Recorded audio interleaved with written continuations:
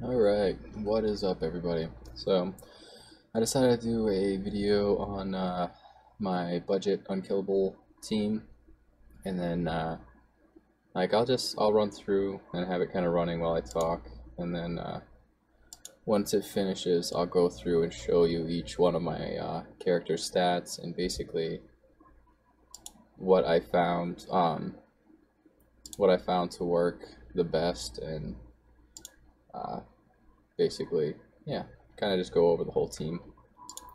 So this first part of it, um, you got to do manually. Uh, it's basically A3 on um, Maneater to get that whole unkillable um, and block debuffs buff going. And then on Painkeeper, you want to make sure that you use her um, A3 uh, for your DPS champions and your slow champion. Um, you can pretty much use um, whatever ability you want, except for Frozen Banshee, which I'll show you in a second. Um, so you do A1 on the second turn for Painkeeper, not A2. Um, and then this time around, again, just A1. Now this is what um, makes a difference. This You want to use your A1 because if you use your A2, it boosts turn meter of everybody, and that can throw Painkeeper's um, speed off. So just do A1, and then this is where you're gonna, you wait till that um, unkillable buff comes off of Painkeeper, and then you're going to use your A2, which heals everybody up, and from there you should be able to hit auto.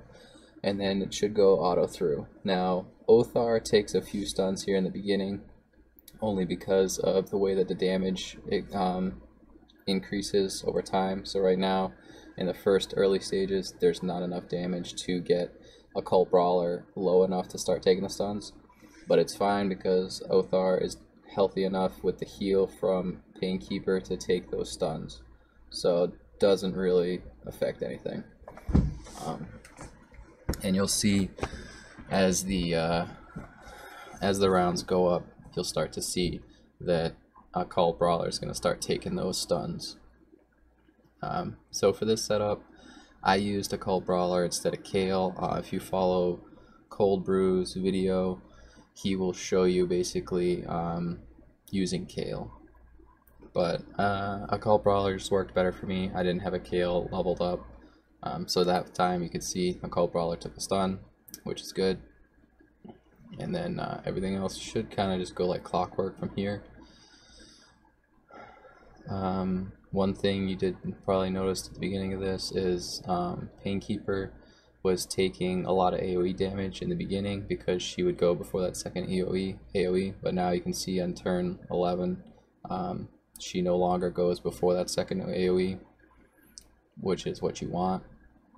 Uh, other than that, uh, another good tactic using this team is to have Frozen Banshee as the lead because she gives everybody an additional 35 um, accuracy. And for this comp, really all you need is their accuracy up over 200 you know I think around 200 or 220 is probably better. But as high as you can get it basically within reason. And then um, that, that's about it. So the speeds that everyone's running at which I'll show you all their setups and their exact stats. But um, I have Painkeeper our Painkeeper is going at 240 um, Maneater is going at um, 250 or 256, I believe. We can check in a second. And then um, Frozen Banshee and Othar are going at about 189. I think he's 189. She might be 187. Again, we'll see in a little bit. And then uh, the slow champion here, uh, Occult Brawler, is going at 124.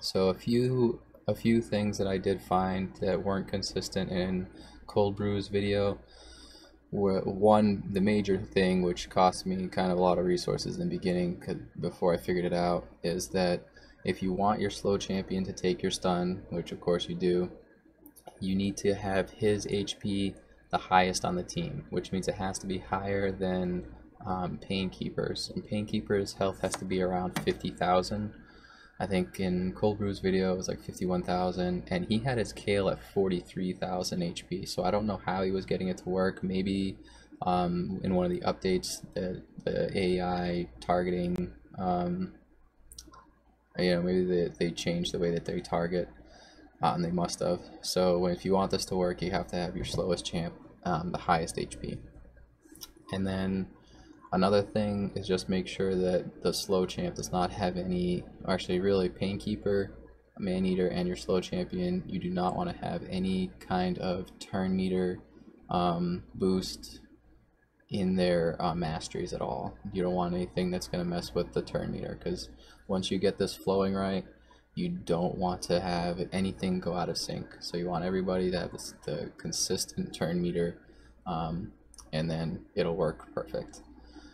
Um, I had Occult Brawler built up on my original, um, like my normal Clan Boss team before, and because of that, I had masteries on him that actually did increase turn meter, had a chance to, so I was like having runs that weren't being consistent, which was really annoying in the beginning.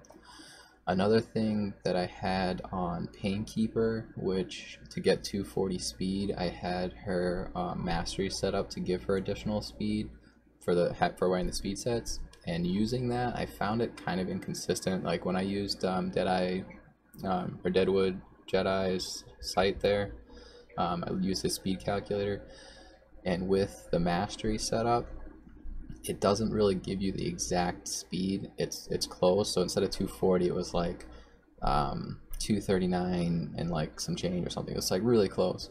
And I got it to work like that for most runs, but I noticed every once in a while, Painkeeper would be a little too slow to do her heal before the stun, and then one of the other champions would end up taking a stun and die.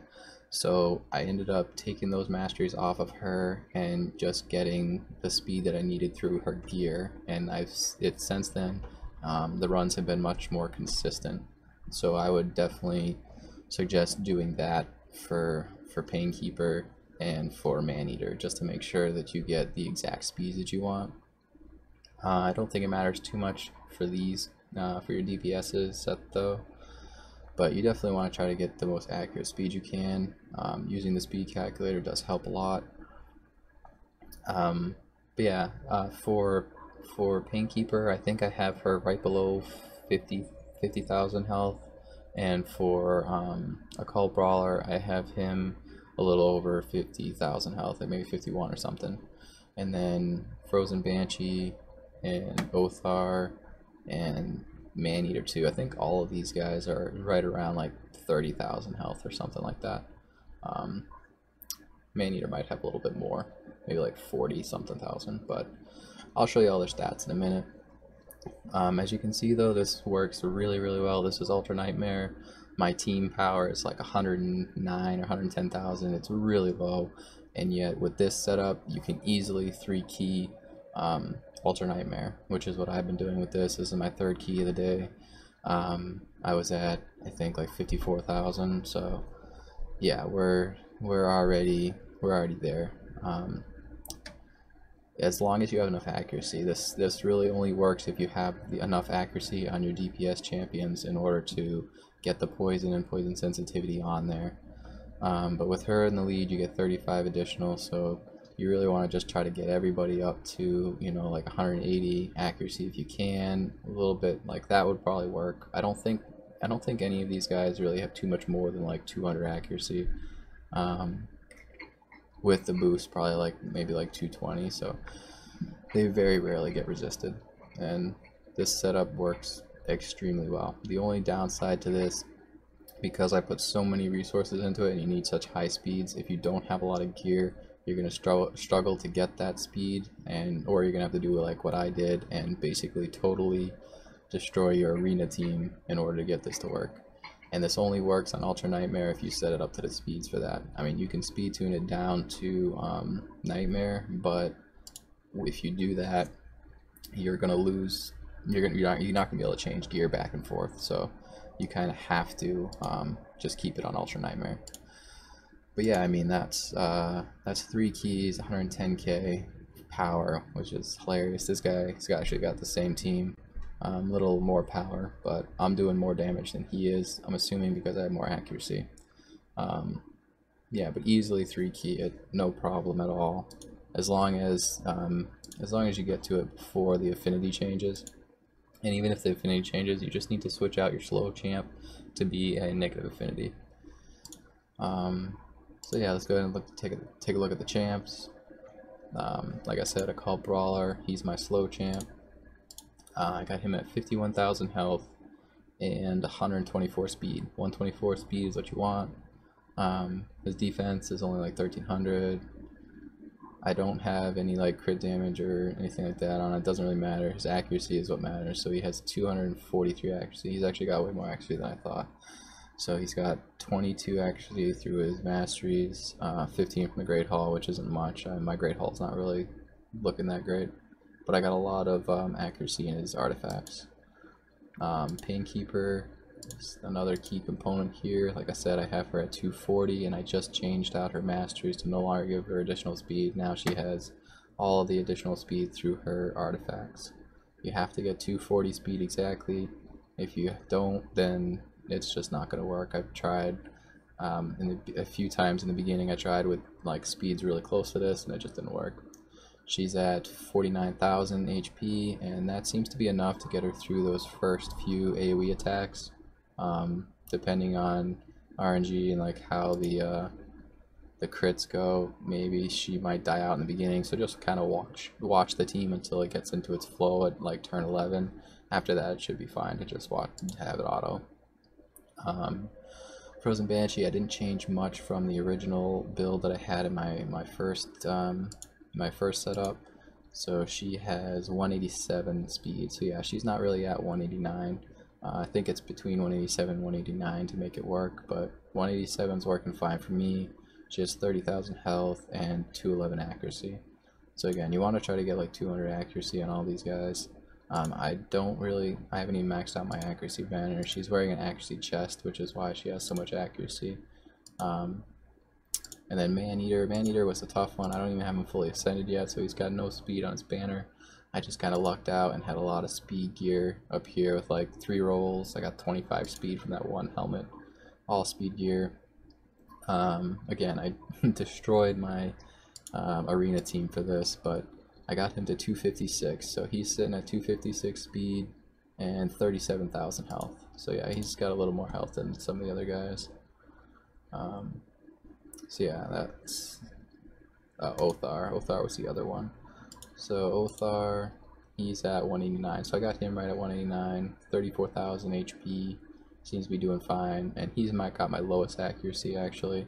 He has 186 but that's why I actually had him as my lead at first, kind of messed everything up, because um, I didn't realize Frozen Banshee's um, accuracy, I didn't realize her aura um, worked everywhere, but it's all battles 35, so with her, um, with her boost, he actually starts landing everything, so 35 pretty much gets him over that 200 mark, which is great.